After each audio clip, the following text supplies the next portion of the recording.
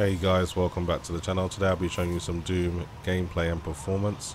I'm gonna reduce my OSD here so you can see the in-game settings. So playing at resolution of 3840 by 2160. Anti-aliasing method of choice is TSSAA, and that's at 8 times, which is the maximum. Um, okay, so field of view is at 120. Don't go any higher because it can create a bit of a fisheye lens if you push it too hard at 16 by 9 using Vulkan for the API of choice. You can go to OpenGL 4.5 though, which is an inferior API, so Vulkan's the best. Um, everything else is at Nightmare or Ultra settings, which is the highest. Um, some only go to high, just so if you're wondering. But the game is completely maxed out. So let's get into it. I am very much looking forward to Doom Eternal. I think this Doom came out in about 2016, which was start the reboot I uh, really enjoyed this game. Um, done really well in sales as well, I think. And um, just playing it again just to kind of see how the RTX 2080 Ti does at 4K and uh, maximum settings. As you can see, I'm getting 200 FPS, and that is the, the frame rate cap, so you're not going to get any higher than that. Um, for anyone that's wondering. So you can use the environment to destroy enemies as well. Um, Doom's a lot more fun when you have all the weapons and you've got loads of different weapons to switch through and choose from. But in the early um, stages of the game, of course, you only have the default weapons, so uh, not as exciting to watch, but uh, it still plays very, very well.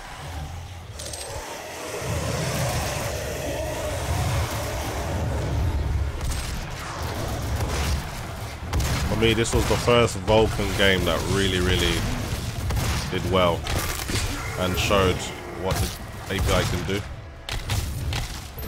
Certainly performs a lot better than DirectX when it comes to uh, getting the most out of your GPU. Now, if you do see my GPU not at 100%, it's because I'm, hit, I'm at the maximum frames per second. So once you reach the maximum frame rate, the GPU will reduce its load in an effort to save power. So if you're wondering why I'm not always at 100% load, that's why he doesn't need to be once you've reached that target frame rate. Okay, let's grab some ammo now, I'm running low. Ammo is always a struggle in this game in the early stages. Um, so to make sure I don't waste too much of it.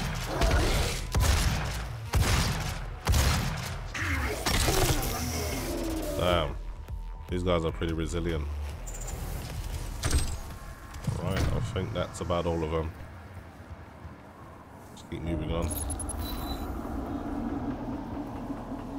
The gameplay is very, very smooth as you can see. One thing I've noticed about Doom, it really does push the Turing architecture, so I'm using a 380 watt BIOS, um, which is the Galaxy BIOS, and I'm pretty much using all of that, even exceeding that at times. So um, you're going to need a pretty beefy power supply if you want to run an overclock like mine and keep it stable. And you're going to need some incredible cooling too. Um, this is one of those games on my, I remember when I used to have my stock cooler on, I used to struggle to hold 2 gigahertz. Um, obviously with my superior cooling now. It's not really an issue. I'm loving that. But yeah, Doom Eternal looks amazing from what I've seen. It's a shame the game got delayed a bit. I think it should have been out already or next month, but um, certainly looking forward to it. And I'll be definitely getting that on release day.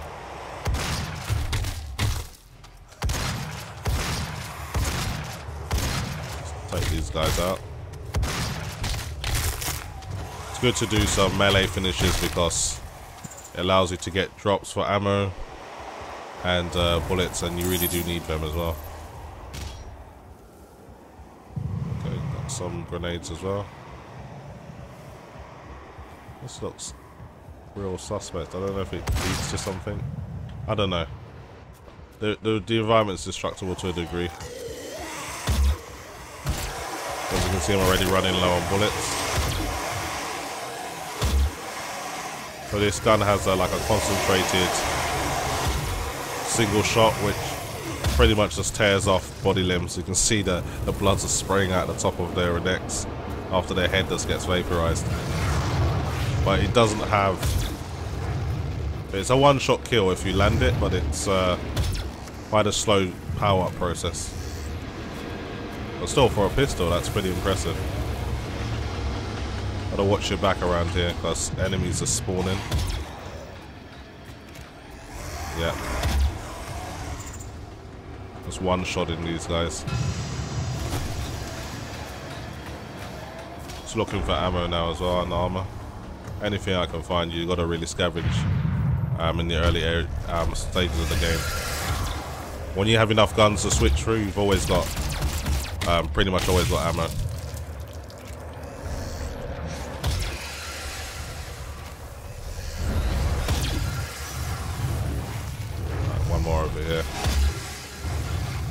Another.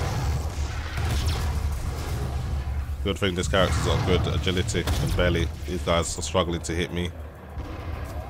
Alright, there's some ammo over here as well. Alright, so I've got 19 shots with my shotgun now. That should do. But you do get like a double jump later on in the game which helps a lot to kind of get around the, the stage but for now you really got to um, plot your routes and use things to gain height and leverage. Something over here. Wonder what it is.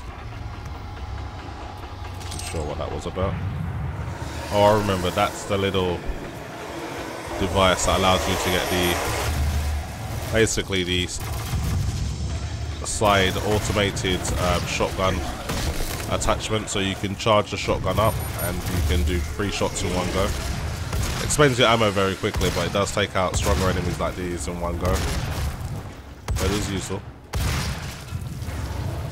Ammo's running low. So yeah, just a bit of bit of a struggle at the start. You really gotta scavenge. So sorry if that bores you guys, but it has to be done. CPU performance is amazing as well with the Vulkan API. You can see the i9-9900K all 8 cores and 16 threads being fully um, utilized. Even if it's not by a great amount, it's using them all fairly equally. So uh, it shows you great um, scaling when it comes to CPU cores.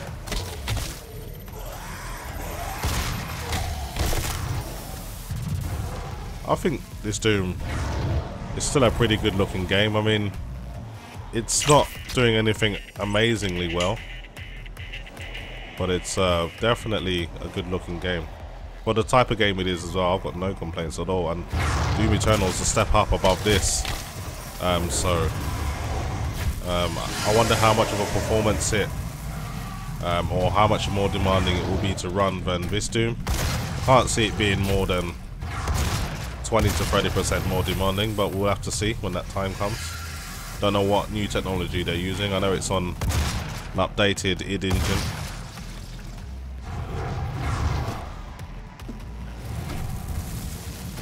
Know there's some more around here somewhere. Yeah, water sponge.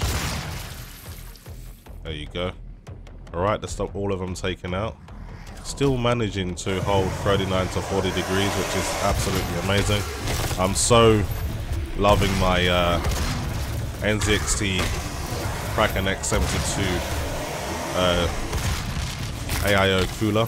Just doing an amazing job keeping my RTX 2080 At a very, very um, low temperature, especially when under a lot of stress. And as you can see, 370 watts push through your GPU with an overclock. That's going to get things pretty toasty, and you'll know this if you try to run this game with an air cooler with these settings. So, uh, good luck remaining over 2 gigahertz even. With my setup and my cooling, I never see below 2 gigahertz. I remember, I can't really remember the last time I've seen below 2 gigahertz. So I need to make a tactical retreat here, getting my ass kicked. Get some more health. Gonna lure these guys up in here so I can throw a grenade. Take them out.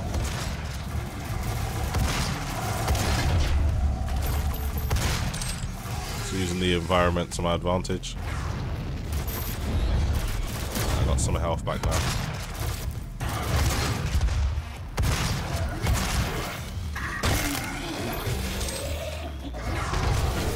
It's so hard to uh, take out all these enemies with this gun at the moment. It's not the best weapon. The, some of the weapons you get later, like the plasma rifle, the grenade launcher, and uh, the rail gun, the minigun, and also the double barrel shotgun. That's when the game starts to get really exciting because you can pretty much blow away enemies in one shot and keep on moving. So I think that is about it. Might be one or two more left. I'll have to find them and take them out. Oh, they're over there.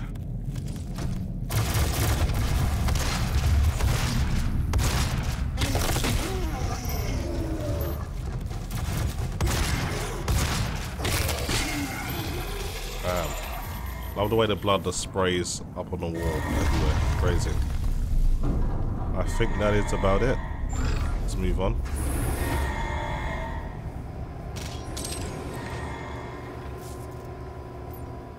Yeah, Welcome that to the concludes our business on this level. Now 221 accident-free days. Anyway guys, hopefully you enjoyed the video. And as always, thanks for watching.